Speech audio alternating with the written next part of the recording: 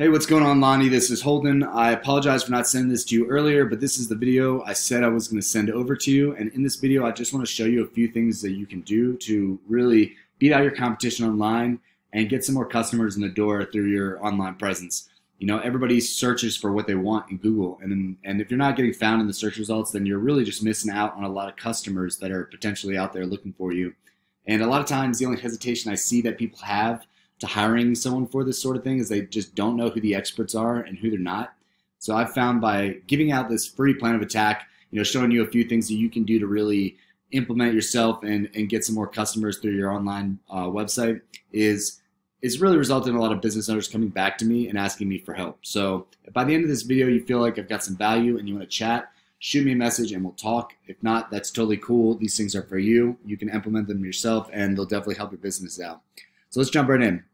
Um, when it comes to Google optimization, the first thing that they look at is content. They want to see about 1,500 words of content on your homepage alone, uh, just to be optimized. Let's say you guys have about somewhere around 700. You know, just looking here, definitely under 1,500. So you want to make sure that you're really boosting that up to at least 1,500, and uh, that'll give you a little bit of an advantage. Now, the next thing I want to talk to you about as far as content goes is keywords. Keywords are anything someone is searching for in the search bar up here to find you. You know, Google likes to match what people are searching for with the most relevant content out there. And if that's these keywords are not included on your homepage, Google is going to skip over to you and go to the next guy, right?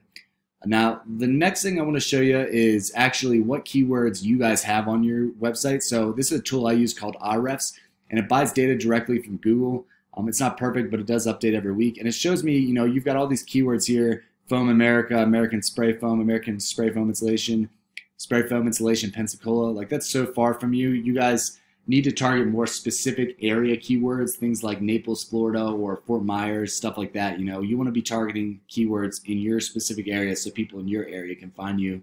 These words are searched, you know, spray foam insulation, Florida, all over Florida. If someone on the north you know shore of Florida on the East Coast searches that, they might find you, but that's no good because you're all the way on, on the Gulf, right? Um, next, I'm going to show you down here. This is called the local map pack.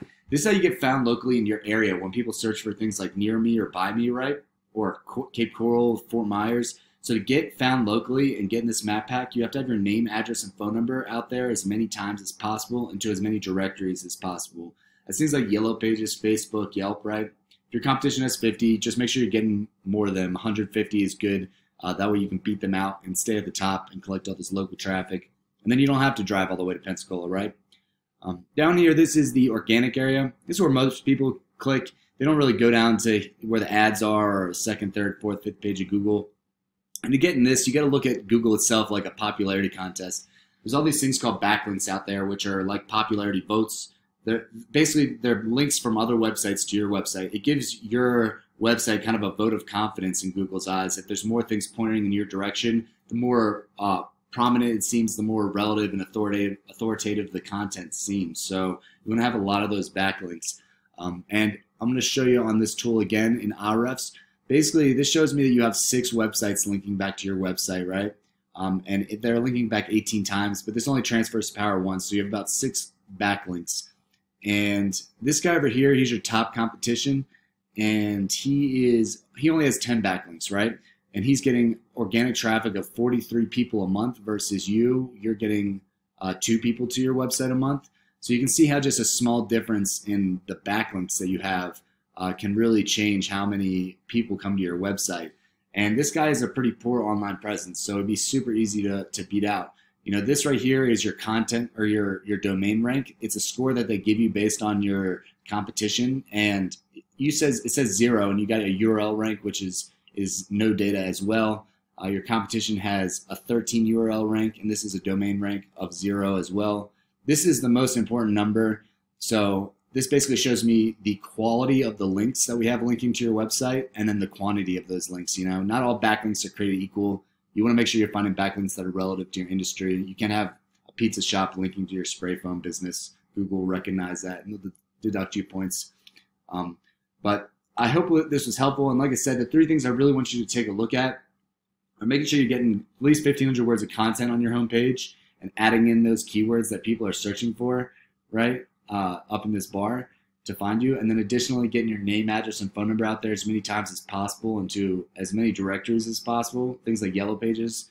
And if you want to get in this organic area, you need to go out and find websites that will link back to your website and give you this vote of confidence, which will boot up, boost up your domain rank score and your URL rank score. And that'll allow you to collect more of this tra- organic traffic over here. And you can start stealing some of the traffic from this guy who's honestly doing nothing to keep his website up here at the top. Uh, it's just probably he has a little bit more than power than you guys. So uh, if you would like to chat some more, definitely shoot me a message and we can talk. I have a few more ideas I'd love to share with you. Uh, if not, that's totally fine. I just ask could you please shoot me a message back, whether you're interested or not, and let me know what you thought of the video. I love feedback, and I'd really appreciate uh, appreciate it. All right, thanks a lot. Have a good one, Lonnie.